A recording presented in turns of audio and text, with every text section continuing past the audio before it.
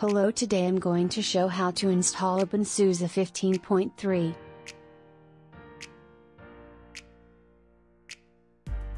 Choose your language and set your keyboard layout, press next to continue.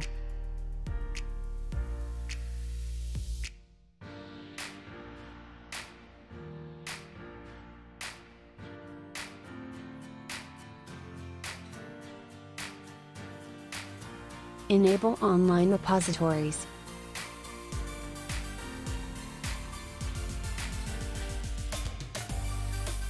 Choose a desktop environment and press Next.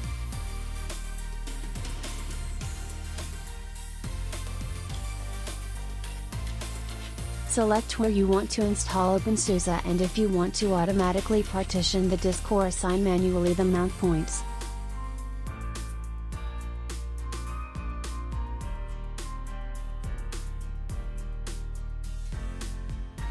Select your time zone on the map and press Next.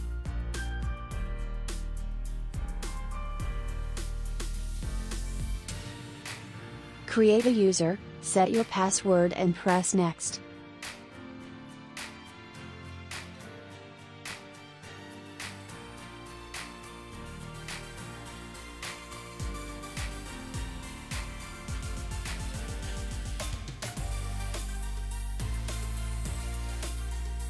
Review that your settings are correct and start the installation by pressing the install button.